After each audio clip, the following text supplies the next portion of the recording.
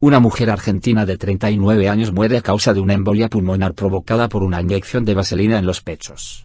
Las investigaciones investigan si se aplicó el líquido solo fue una tercera persona la causante de su muerte. Una mujer muere al inyectarse vaselina en los pechos Sonia Pérez Llanzón, de 39 años, de la ciudad de Santa Rosa, Argentina, ha perdido la vida a causa de una embolia pulmonar provocada por una inyección de vaselina en los pechos. En el mes de febrero, la mujer había ingresado en el Hospital Lucio Molas de Santa Rosa. El jefe de clínica, Julio Placárdenas, explicó al diario Clarín que tenía lesiones en las mamas. Eran como golpes. Los médicos hicieron todo lo que pudieron para salvar su vida, aunque sin éxito. El cuadro inicial era una inflamación del pulmón.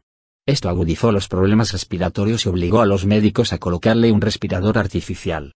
Con el paso del tiempo su estado fue empeorando hasta que una embolia pulmonar acabó con su vida. Cárdenas cuenta que al principio la paciente no quería contar nada de lo ocurrido, pero finalmente afirmó que se había aplicado vaselina en los pechos. El médico explica que la vaselina es un líquido oleoso, se hace con petróleo, es muy denso. El peligro radica en que si la vaselina ingresa al torrente sanguíneo, puede provocar serias dificultades respiratorias una vez que llega a los pulmones. El médico añade que la inyección de la vaselina es muy doloroso.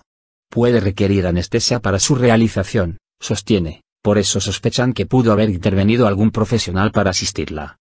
Las autoridades de Santa Rosa investigan si fue la propia Sonia quien se aplicó esta inyección o si por el contrario se trata de una tercera persona quien lo hizo.